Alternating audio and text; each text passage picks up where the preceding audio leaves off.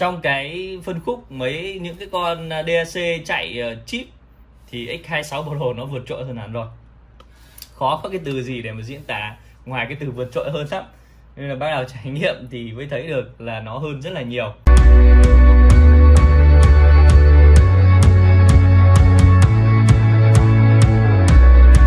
Rồi, xin chào tất cả mọi người đã quay trở lại với video của nhà số Hà Nội.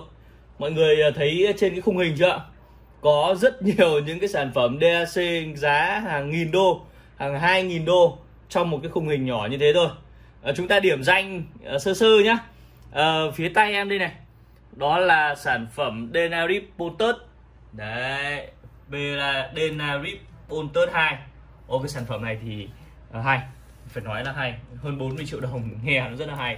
Và nó là một cái DAC có ít những cái option đấy ít những cái uh, mình gọi là cái cái cái um, cái codec những cái option bên trong của nó ấy nó ít. Nhưng mà cái chất lượng âm thanh của nó thì phải nói là tuyệt vời.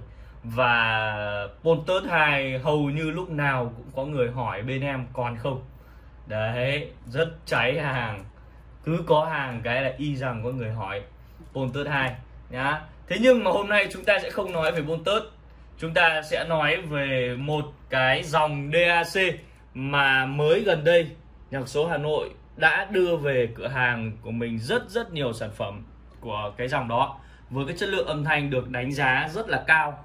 Từ cá nhân em đánh giá đến những cái chuyên gia từ nước ngoài người ta cũng đánh giá rất là tốt. Đó chính là dòng DAC của Gustad đây mọi người thấy không ạ? Đây. DAC của Gustad đây DAC của Gustad và đây. Đấy ở phần uh, cận màn hình hơn này đây. Cũng là DAC của Gustad thế thì cái thằng Gutat này nó cũng là một cái thương hiệu của Trung Quốc. Một thương hiệu của Trung Quốc được ờ, đặt cái nhà máy ở Thâm Quyến em nhớ là Thâm Quyến.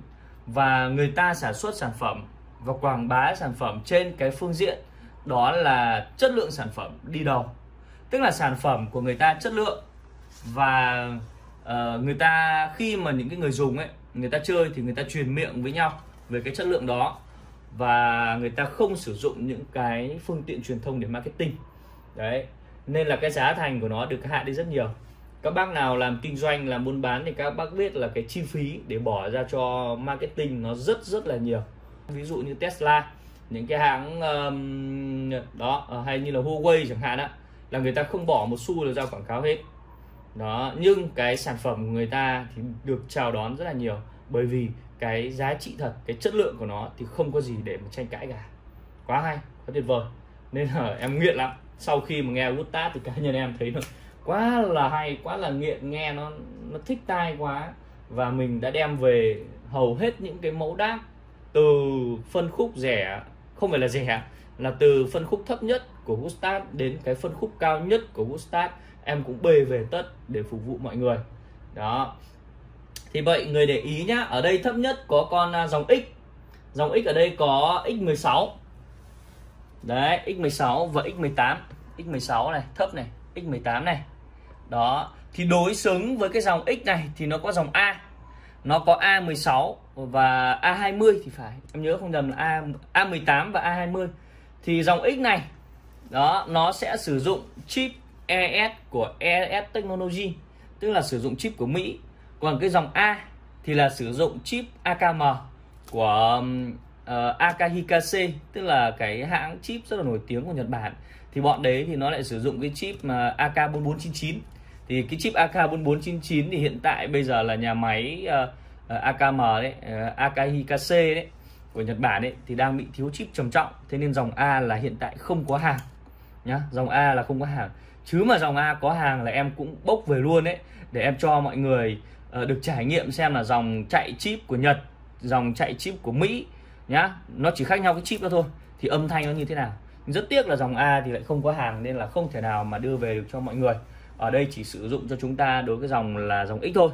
Bên cạnh đó cao cấp hơn thì uh, chúng ta có cái dòng chạy uh, cũng chạy chip dòng mạch uh, Sigma Delta đấy dòng mạch uh, Delta đó, chạy chip. Đây chúng ta có một cái thằng uh, chip đầu bảng của Gustav là X26 Pro. Đấy X26 Pro. Đó thì đây là cái dòng chip đầu bảng cái dòng uh, chạy chip đầu bảng của Gustav. Bên cạnh đó thì sản phẩm cao cấp nhất của Gustav đó là chạy dòng mạch R2R có bác gọi là dòng mạch R2R cũng được không vấn đề gì. Đây chính là Gustav R26 đấy Gustav R26 có cả màu bạc và màu đen. Đây đấy mọi người thấy không ạ? Hai cái là đây hai cái màu đây. Là dòng mạch là hai đờ thì hai con này là cái đầu bảng của Gustad nhá. Thì nói về uh, uh, bên cạnh đó đó bên cạnh đó thì chúng ta có U tức là con DDC còn ờ, DDC U18 này thì em cũng đã làm uh, video rất là kỹ về con U18 này rồi và cũng đã test cho mọi người rồi. Uh, thì đợt đấy về được một ít cháy hàng luôn. Và cuối cùng là vẫn cô bác phải chờ phải chờ đến ngày hôm nay là hàng về đây thì em mới bắt đầu lại báo lại cho các bác. Đó.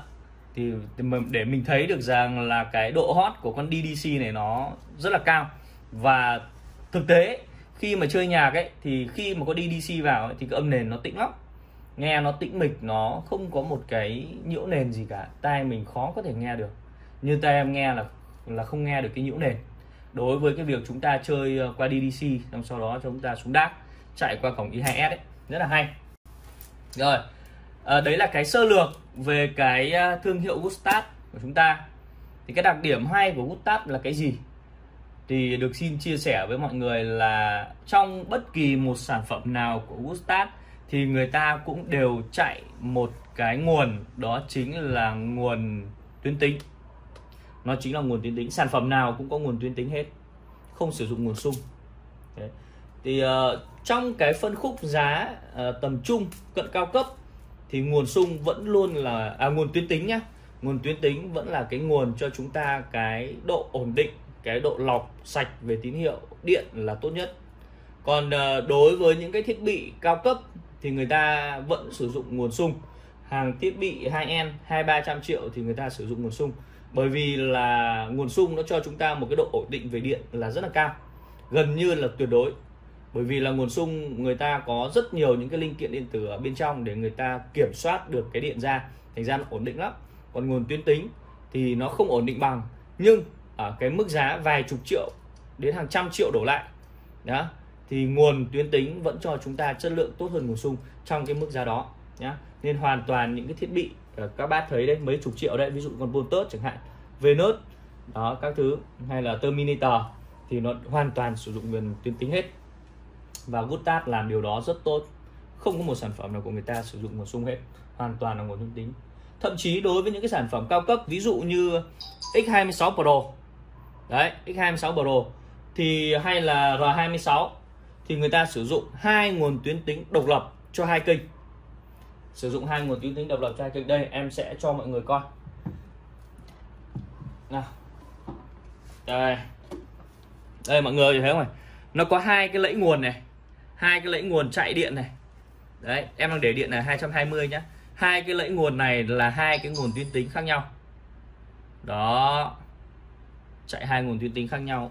Thì phải thấy là người ta trau chuốt sản phẩm người ta rất là tốt, nghiên cứu cực kỳ kỹ càng. Bên cạnh đó thì cái đặc điểm nổi bật nhất của hút Gutat như em vẫn luôn nói trong mỗi cái video về sản phẩm hút Gutat đó là người ta trau chuốt cái cái cái cái um, chất lượng đường truyền cái uh, cái độ giảm độ jitter tăng cái độ bit perfect lên cũng rất là cao.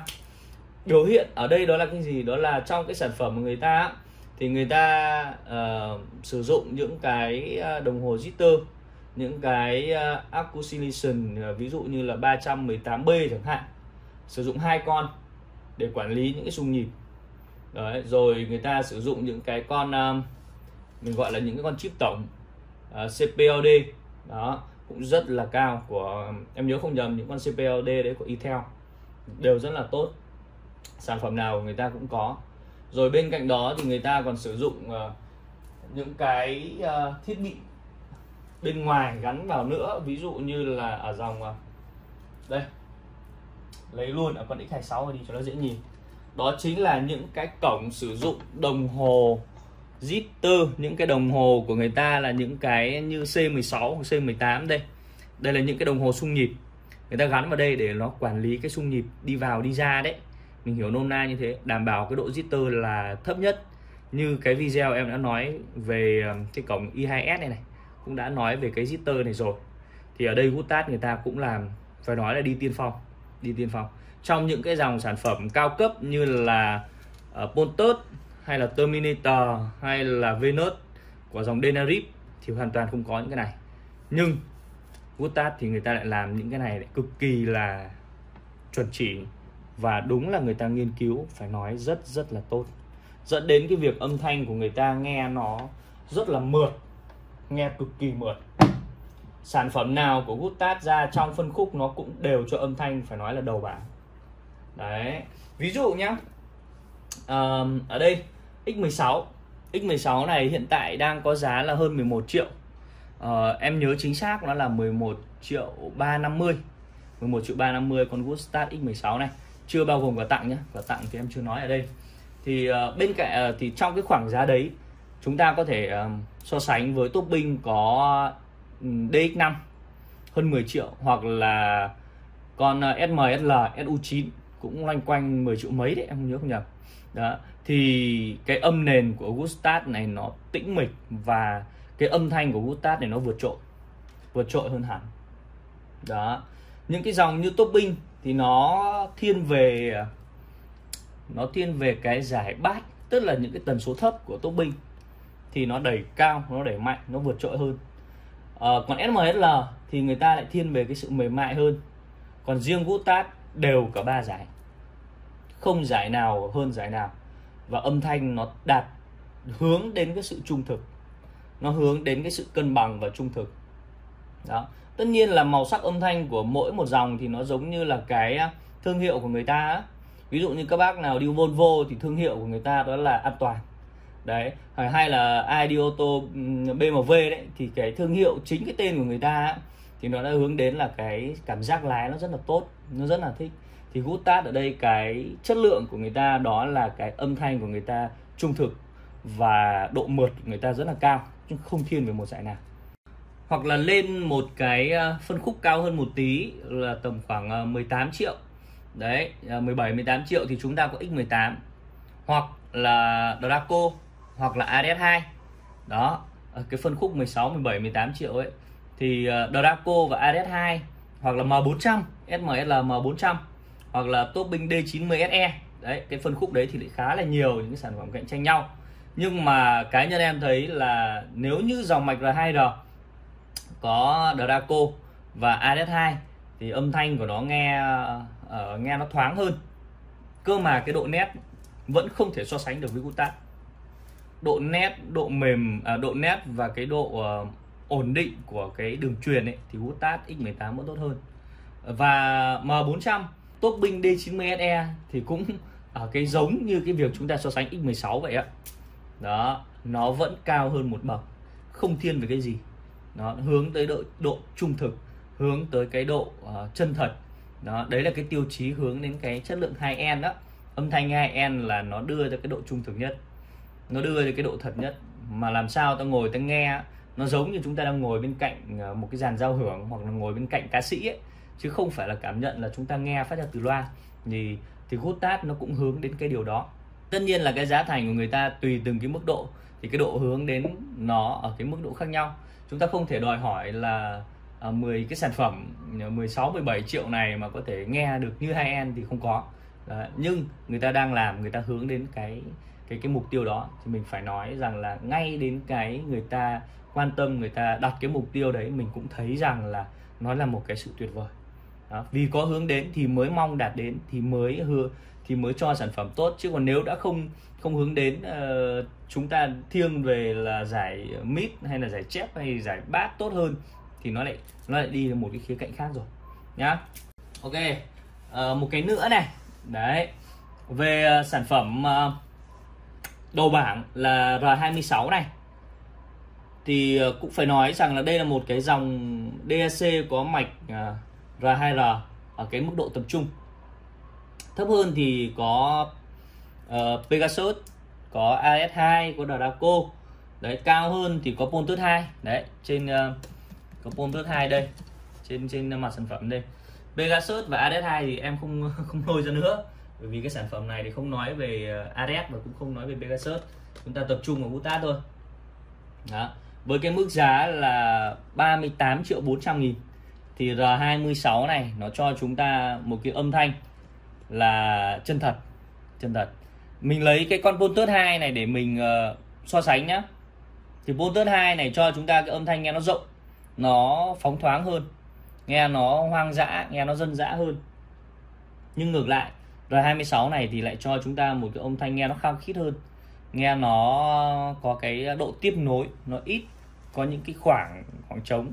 Lời ca sĩ nghe nó nét hơn đấy ờ, nhưng mà một cái điểm mà nó uh, nó mà Pontus hơn ấy đó chính là Pontus nghe âm nó nổi hơn. Pontus nghe âm thật sự là nổi hơn. Đó. Còn R26 này âm nghe uh, mặc dù rất là mượt đấy nhưng lại không thể nổi bằng Pontus và cái âm hình của hai thằng này thì có lẽ rằng là âm hình của Pontus nó vẫn cho một cái gì đó nó tốt hơn à, còn R26 này thì âm hình.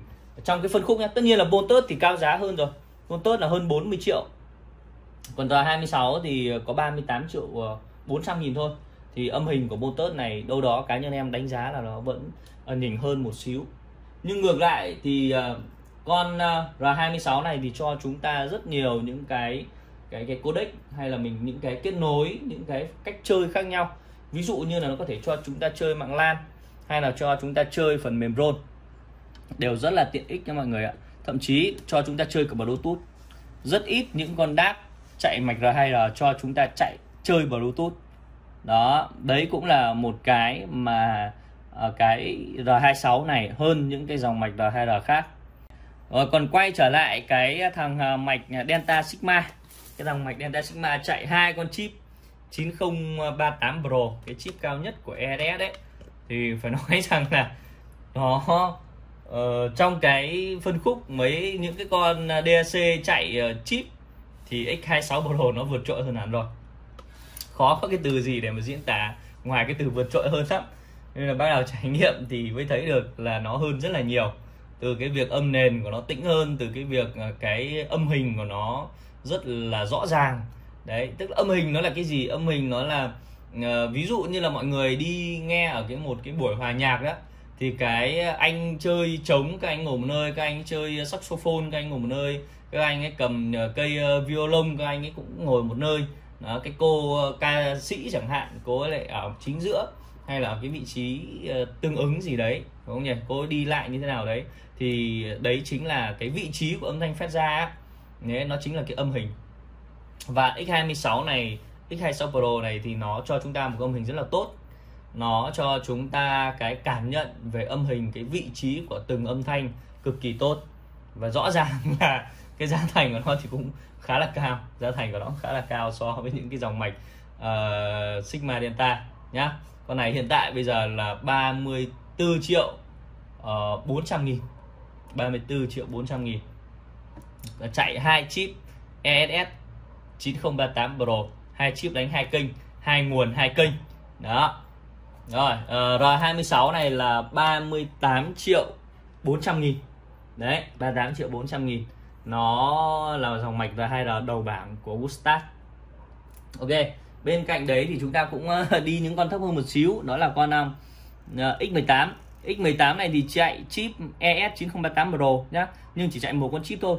Chỉ chạy một chip và giá của nó hiện tại bây giờ là 16 triệu 990 nghìn. Đó 16 triệu 990 nghìn. Thấp hơn là X16 con này thì thông dụng hơn này.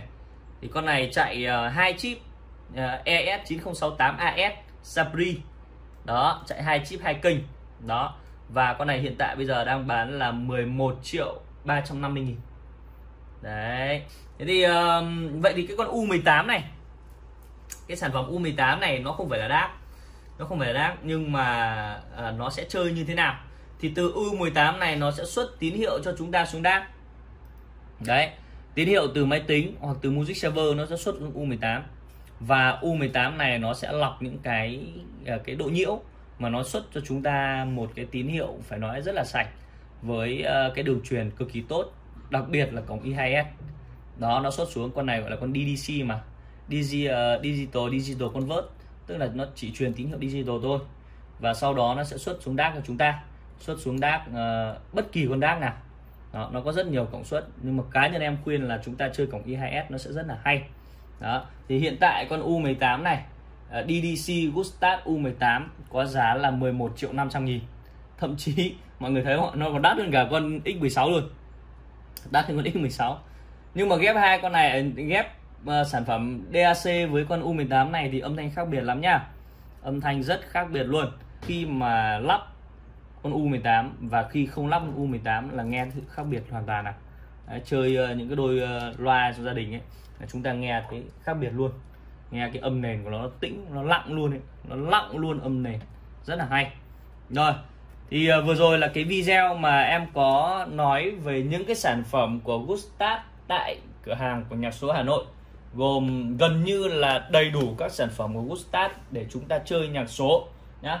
À, mọi người có cái thắc mắc gì thì hãy để lại ở phần dưới comment hoặc là điện cho em qua số hotline là 0766 030 050 thì em sẽ hỗ trợ mọi người em sẽ ờ, giải đáp những cái thắc mắc của mọi người đối với những cái dòng sản phẩm như Gustat rồi thì ờ, Denarit tất cả những cái dòng sản phẩm nào bên em có nhá. Rồi cảm ơn mọi người và chúc mọi người có thật nhiều sức khỏe